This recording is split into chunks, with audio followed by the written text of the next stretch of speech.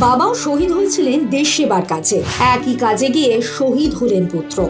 শোকে বিহ্বল পরিবার। বড় হয়ে বাবার মতো হতে চাই, এ কথা বলতে শোনা যায় অনেক শিশুদেরই। আর সেই স্বপ্নকে পাথেয় করে জীবনে চলার পথে এগিয়ে যায় তারা। বিশেষ করে যারা দেশের সেবায় নিয়োজিত, সেই পরিবারের ছেলে মেয়েদের মধ্যে দেশপ্রেমের আবেগ একটু বেশি গভীর হয়। আর তার প্রমাণ রয়ে গিয়েছে দেশের ইতিহাসে। বহুবার দেখা গিয়েছে শহীদ হয়েছে পরিবারের ছেলে, কিন্তু তার পরেও শোক দুঃখ ভুলে আরেক ছেলেকে পাঠিয়ে দেওয়া হয়েছে দেশ সেবার কাজে। কিংবা দেশের কাজে নিয়োজিত হয়ে শহীদ হওয়া স্বামীর উর্দি নিজের গায়ে জড়িয়ে দেশে সেবার কাজে ঝাঁপিয়ে পড়েছে স্ত্রী। এরকম ভুরি ভুরি উদাহরণ খুঁজলে পাওয়া যায়। ভাবছেন হঠাৎ এই আলোচনা কেন?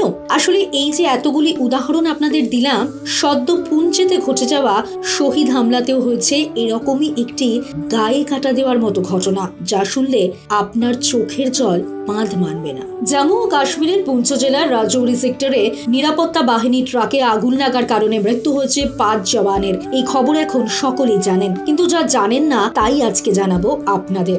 জঙ্গি হামলায় মৃত্যু হয়েছে পাঁচ জওয়ানের, প্রাথমিকভাবে মনে করা হচ্ছিল যে প্রচণ্ড বৃষ্টি ও বজ্রপাতের জেরে সেনার ট্রাকে আগুন ধরে যায়। কিন্তু পরে জানা যায়, সেনার গাড়ি লক্ষ্য করে গুলি এবং গ্রেনেড ছড়ে জঙ্গিরা আর তাতেই শহীদ হয় পাঁচ জওয়ান। জানা গিয়েছে, শহীদ পাঁচ জওয়ান হলেন হাবিলদার মনদীপ সিং, ল্যান্স নায়ক দেবাশিস বিম্বল, ল্যান্স নায়ক কুলবন্ত সিং সিপাহ সিপাহী হরকিষণ সিং এবং সিপাহী সেবক সিং নিহতদের মধ্যে চারজন পাঞ্জাবের এবং একজন রিশা হত জওয়ানদের মধ্যে কারও সাত মাসের শিশুকন্যা রয়েছে, কারও আবার চার মাসের পুত্র সন্তান। একজন আবার সদ্য বিয়ে করেছিলেন। তার মধ্যে পাঞ্জাবের কুলবন্ত সিং এর বাবাও ছিলেন একজন সেনা জওয়ান। তিনিও ছেলের মতোই দেশ সেবার কাজে শহীদ। আজ থেকে এগারো বছর আগে কার্গিলের যুদ্ধে দেশের হয়ে লড়াই করতে গিয়ে জীবন দিয়েছিলেন কুলবন্তের বাবাও। তারপরেও সেই পরিবার থেকেই বুকে শোকের পাথর চেপে ধরে দেশ সেবার কাজে ছেলেকে পাঠানো হয়। দেশ সেবার কাজে যোগ দেওয়ার আগে কুলওয়ান্ত মাকে বলে গিয়েছিলেন,